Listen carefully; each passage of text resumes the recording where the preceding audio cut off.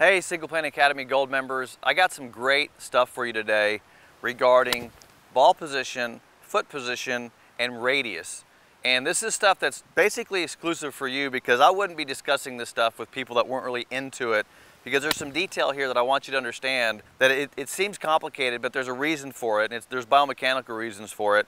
But let's talk about why we're seeing the foot position, ball position, and the club face square relative to your target line and how all this really works. And by the way, I had this question for Moe as well. I mean, I, I used to ask him, your club is behind the ball, but is it square? And he'd say, yeah, it's dead square. Well, some of you are trying to put it back, I would say artificially maybe, put it behind the ball.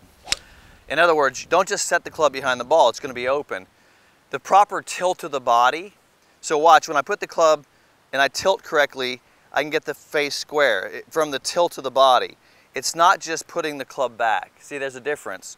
So when I, when I look down here and I have the seven iron and, it, it's, uh, and I tilt it back, I can have it square and behind the ball and have all my dynamics of the club face correct.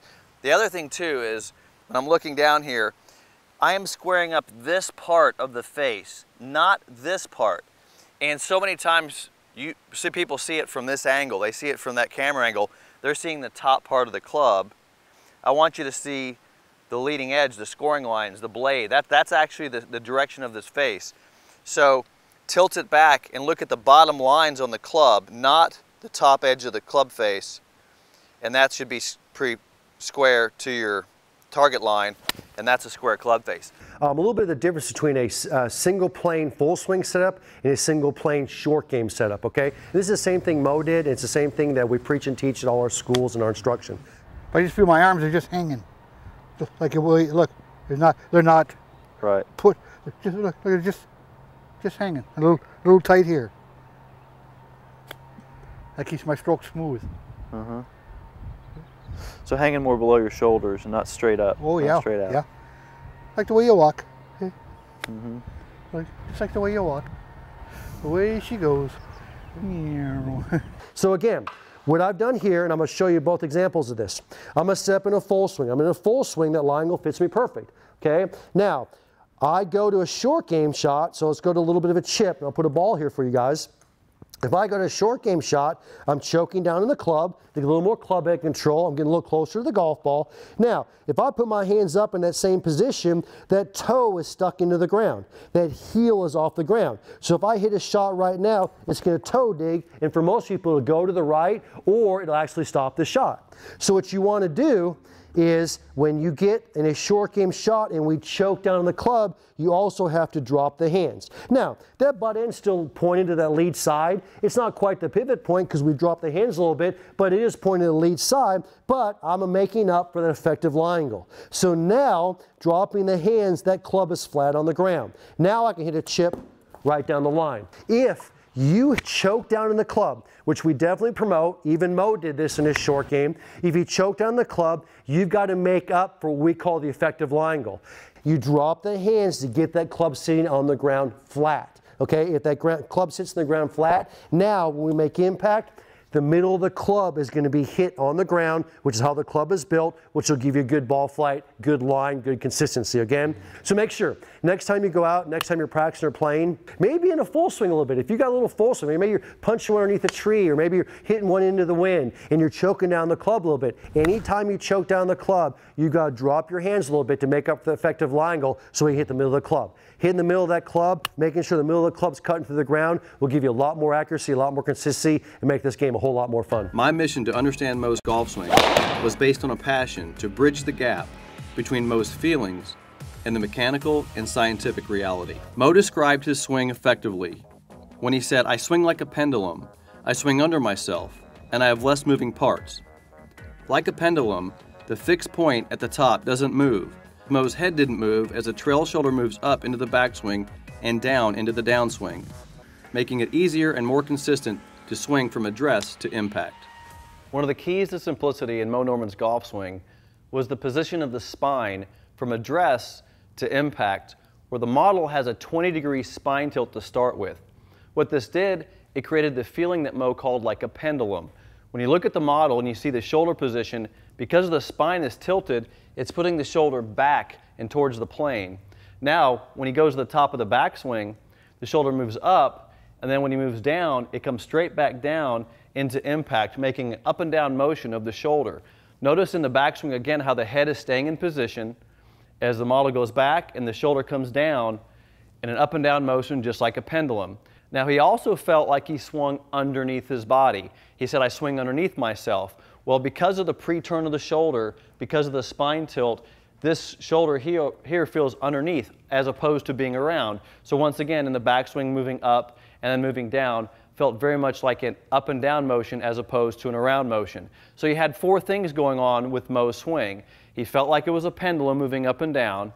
The swing had less moving parts because you had less movement of the spine and the shoulders. And you have the swing going inside to inside as well as he feeling, I swing underneath my body. And that's what you're going to feel with a single plane swing. Moe also said to me after we finished the round, he said, uh, got to play golf from the heart. Got to play golf from the heart. And I always thought about, you know, what does that really mean to play golf from the heart? And why was that kind of his parting message for me? You know, why was that? It wasn't like go win tournaments or uh, go shoot 61, you know? It was more about this kind of idea that golf is a game that gives you more than just shoot a score.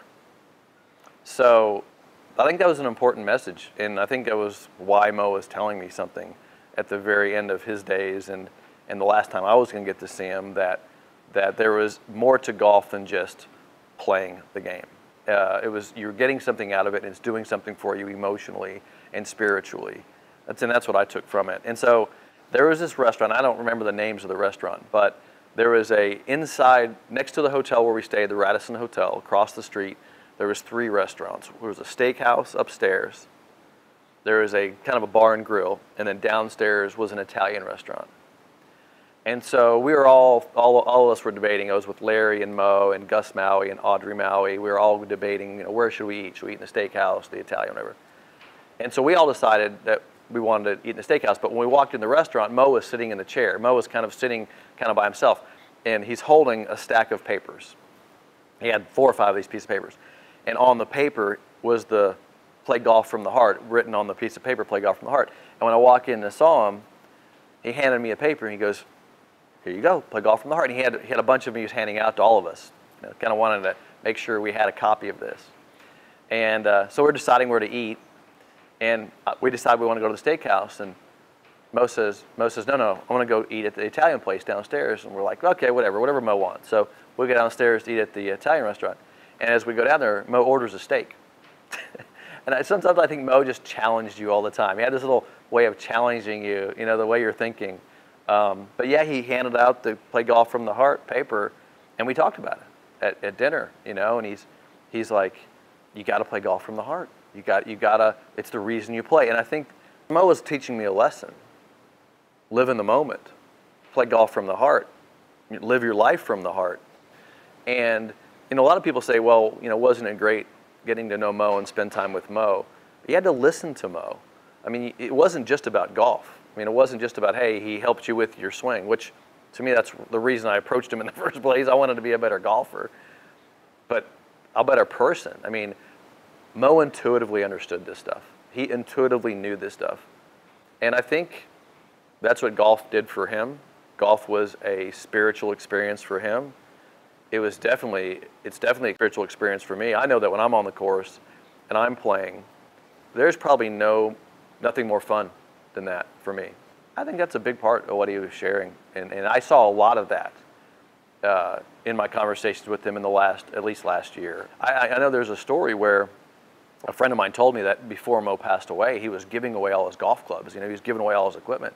He was giving everything away, and um, it, in a sense, it's like, hey, I'm giving gifts of my knowledge and my, these are the clubs I use, and this is why I did this. And he's sharing his experiences of life, and this is part of his sharing. And I think, I think if you can give the people the knowledge that he had, I mean, just think about the knowledge that he, that he had at that time in his life, and, and all of a sudden he's realizing that, hey, the real gift here is more of like live your life in every moment, play golf from the heart.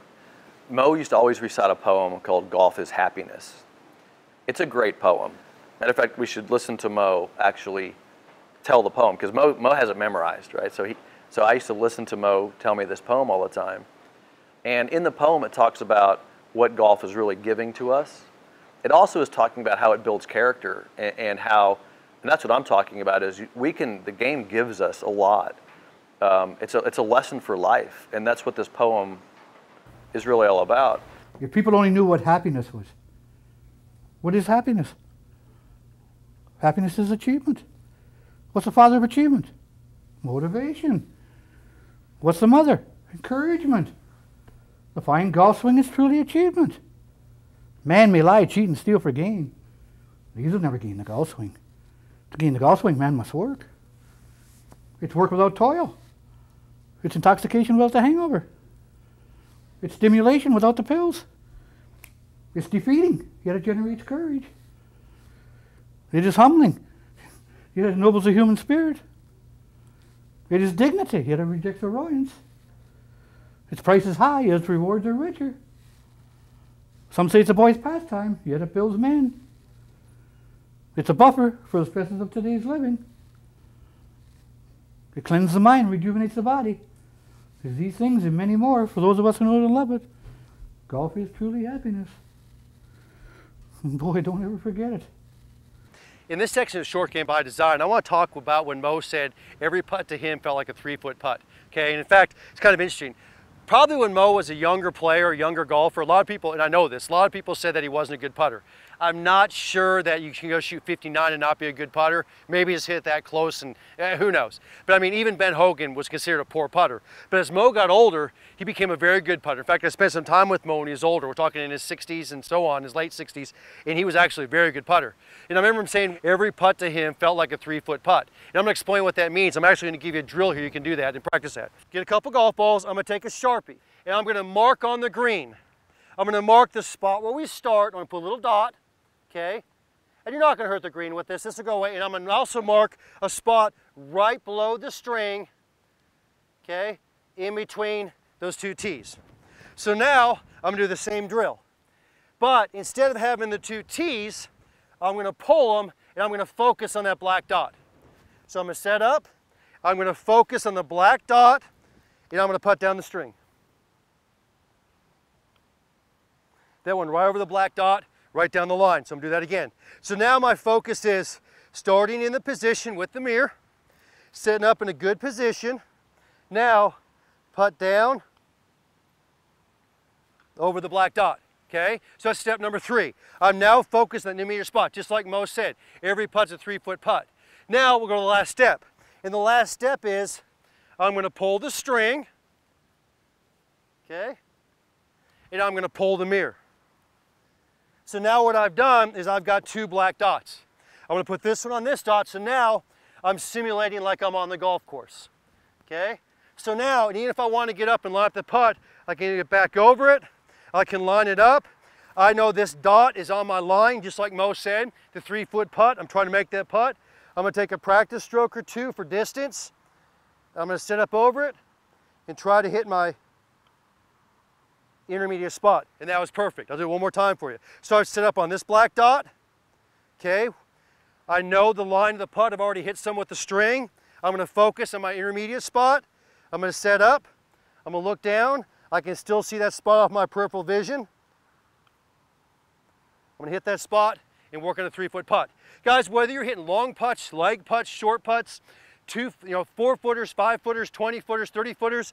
A lot of golfers use an intermediate spot. They'll get behind it, they'll line it up, and they may look at a, you know, a different colored piece of grass, maybe a little piece of sand.